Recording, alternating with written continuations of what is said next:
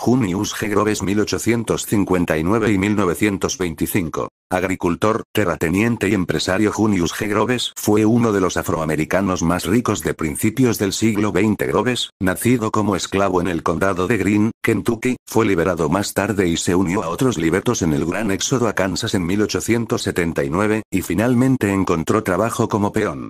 Impresionado con su fuerte ética de trabajo y producción, el empleador de Groves le ofreció nueve acres de tierra para cultivar en acciones. Para 1884, él y su esposa Matilda habían ahorrado lo suficiente para comprar 80 acres de tierra cerca de Edwardsville, Kansas. Su empresa tuvo tanto éxito que, solo cuatro años después, habían adquirido un total de 2.000 acres y reemplazaron su chabola de una habitación con una mansión de 22 habitaciones.